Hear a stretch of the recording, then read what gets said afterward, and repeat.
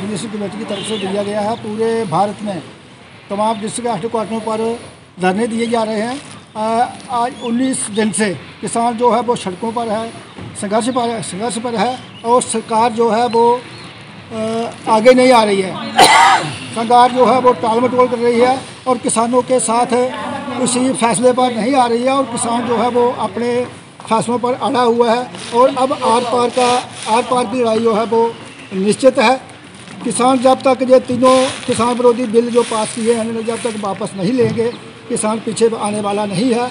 और एमएसपी को जब तक कानूनी शक्ल नहीं दी जाएगी, किसान पीछे आने वाला नहीं है। सरकार चाहे जितना इसको लटका ले, जितना पीछे कर ले, कितनी मर्ज़ी टाल मटोल कर ले, किसान पीछे हटने वाला नहीं है। और किसान को समझदारी करनी चाहिए, प्रधानमंत्री को समझदारी करनी चाहिए, खुद इसमें इंटरवीन करना चाहिए और इस मसले को रिजॉल्व करना चाहिए।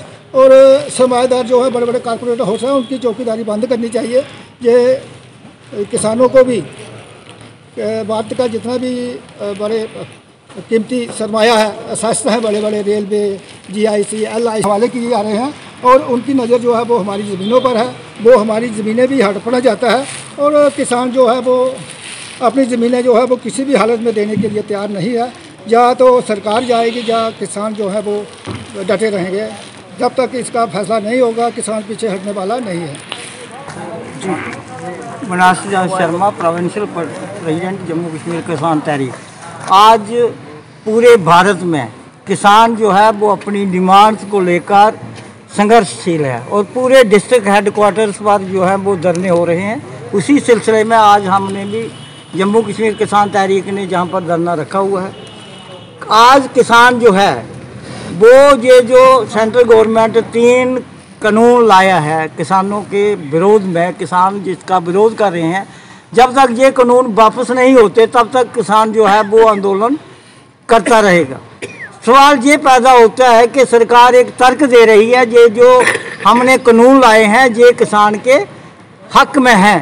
तो हमारा ये मानना है कि कब किसानों ने इन्हें इन्हें कहा ये कानून लाने के लिए, क्योंकि ये कानून ही किसानों के खिलाफ है तो सरकार को ये कानून जो है वापस लेने चाहिए।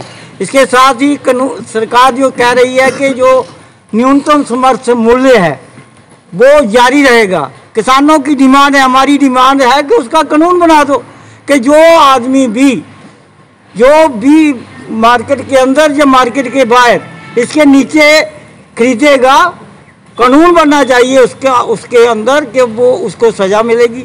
कानूनी तौर पर ये जो है लागू होना चाहिए। इसके साथ ही हमारी ये भी डिमांड्स है। और देखिए आप मीडिया के साथी जो हैं, ये हमारे संघर्ष को भी आगे ले जाने में सहायता देते हैं कि जहाँ जहाँ हम नहीं पहुँच सकते, मीडिया वहाँ पहुँचता है। आज सरकार बहाने ढूंढ रही है कि ये जो संघर्ष है, ये किसानों का नहीं। कभी कहते हैं ये टुकड़े टुकड़े गैंग जिसमें शामिल है कभी कहते हैं खालिस्तानी मूवमेंट इसमें शामिल है। तो हमारा ये जो संघर्ष है, ये बिल्कुल किसानों का संघर्ष है। किसान जो है, वो अपनी डिमांड्स के लिए लड़ रहे हैं और लड़ते रहेंगे।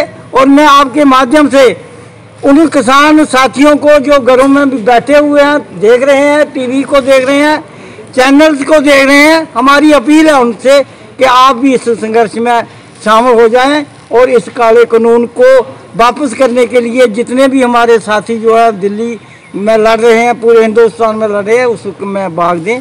धन्यवाद।